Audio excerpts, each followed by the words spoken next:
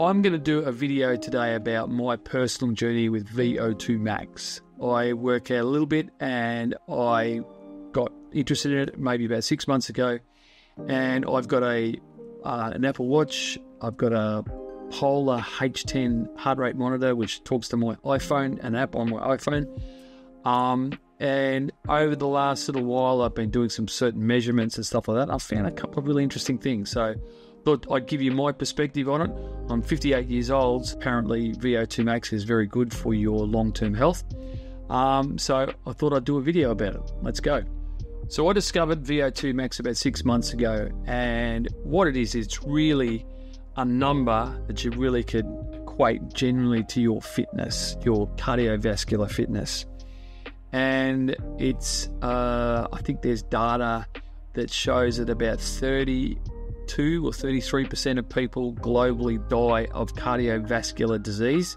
And that's of all age groups. And as you get older, so if you get sort of after 50, it means that uh, it's almost upwards of uh, 60% of people die of cardiovascular disease. So it is the biggest cause of death and mortality um, across all of uh, populations across the whole planet, across men, women, doesn't matter.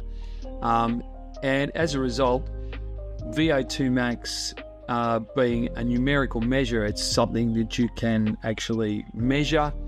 And hopefully, if you've got a good number or if you plan to increase your number, um, that's something that hopefully will correlate generally to your uh, well being.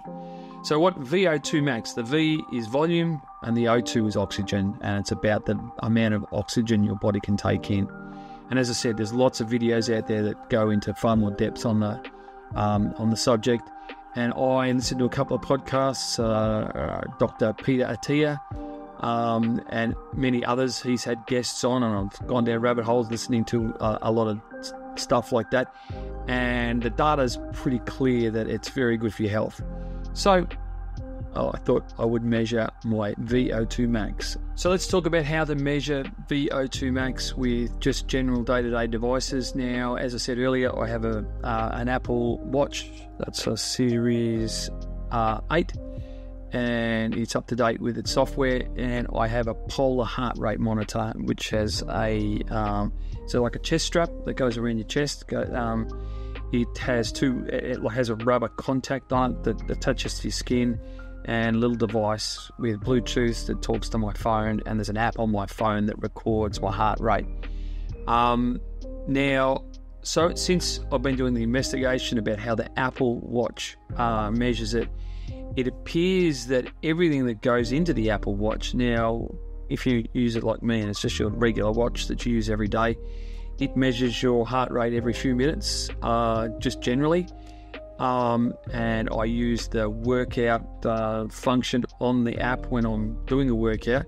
And I've also got my accurate data in there my age, my weight. Um, it knows a fair bit more about me. Um, interestingly enough, is that the Apple Watch and my Polar heart rate monitor are pretty similar in how they measure my VO2 max, which is interesting. But what prompted me to do this video in the first place, and something that came up, is I let my heart rate monitor to a friend. Now, my friend uh, is younger than me and not quite as fit as me because I don't go to the gym as often as I do. And um, I, it asks before it does the fitness test, it asks things like, "What's your age? Uh, how many times do you work out?" and then it asks you to sit down and the polar heart rate monitor gets you to do a test when your uh, your heart rate is at its lowest, so resting heart rate. And it did that, um, and the reading and the person who did the test took that away. And I didn't understand the depth of how these uh, devices did it at that point in time. And I thought, oh, okay, that's that's your heart, that's your VO2 max. That's something that you can take away. Um, then following day, I put the heart rate monitor in.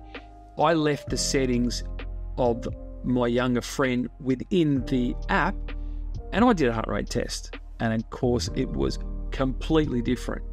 So rather than someone like me who works out maybe six, seven days a week, uh, this person put in there that they don't work out at all. um, and their age is much younger than mine as well. So I did the test without changing those uh, core pieces of data, and of course the settings was far different. Um, so I went down that rabbit hole of starting to look into how these devices measures your heart rate and your VO2 max and how they did it. And one thing that was really clear with all of these devices is the accuracy of how you input the data is really important for accuracy um, because they use all of these different proxies to make estimates of your heart rate. The second thing, which was really interesting, is that I did a heart rate test with my Polar, um, and my general resting heart rate is about 55, give or take. But if I've had a cup of coffee, and I've got a pretty good coffee machine, and I, I like a reasonably strong coffee, um, it uh, I had a coffee, and my resting heart rate was somewhere between sort of 68 to 70 and I got a again I got a different uh, VO2 max test, so that made me think uh, interesting uh, uh, things as well. And I've also noticed now that I've been sort of looking into it that if I have a poorer night's sleep, my resting heart rate is slightly different. Um, and this sort of made me think that this is quite an interesting thing. Now, VO2 max, if you want to measure it properly, you can go to a lab, they put a face mask on you, and they actually measure the air exchange. They get you on a treadmill or get you to, to exert yourself, and they can actually measure it. And that's probably the best accurate test. But what this video is about, and what I try, wanted to try to communicate, was exactly how these uh, watches and wearables, because there's a Garmin and there are many other fitness devices you can wear, and they loosely correlate to what your true VO2 max is. Um, so, one thing I saw in one video was that these two guys did their VO2 max on their Apple device and then they went into a lab and, and it wasn't bad. It was, I think that there was a two points different.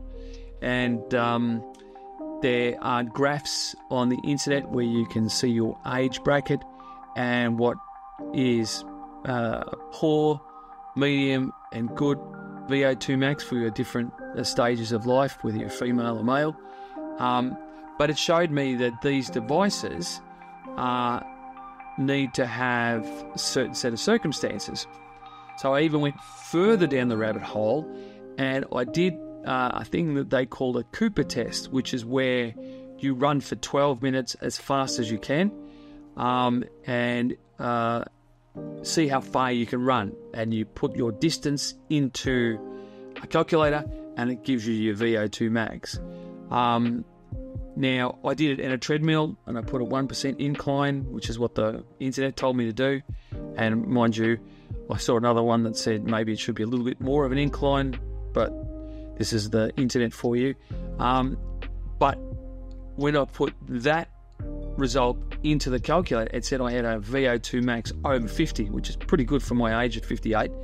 Um, whereas my Apple Watch is telling me I'm about a 48, which is still pretty good for my age. But I train quite a bit and I uh, do interval training. So I do the thing they call HIIT, which is high interval, uh, high intensity interval training.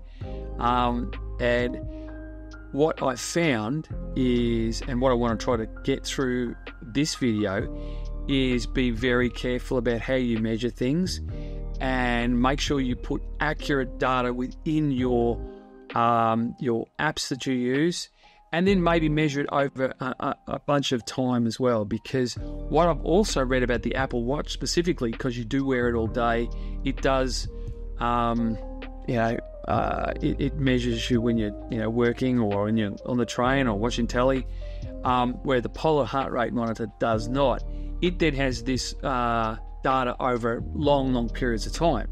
And as a result, it's actually got a better way of measuring it because I've read that the, the way that the algorithm and the people who did the mathematics with this, they do use all of that data to come up to your VO2 max.